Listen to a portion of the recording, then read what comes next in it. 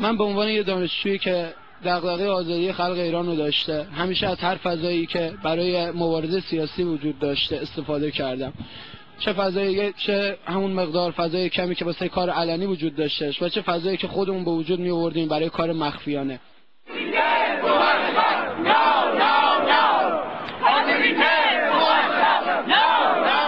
به عنوان یه هوادار شعار نویسی داشتیم پخش تراکت و اعلامیه داشتیم در ارتباط با سازمان مجاهدین خلق ایران. و هر آنچه از فعالیت سیاسی مبارزه سیاسی که می‌شد علیه رژیم جنایتکار خمینی انجام داد ما همه اینا رو پیگیری کردیم و همیشه سعیمون این بوده که به بهترین نه مطالبات مردممون رو پیگیری کنیم و در واقع نمایندگی کنیم.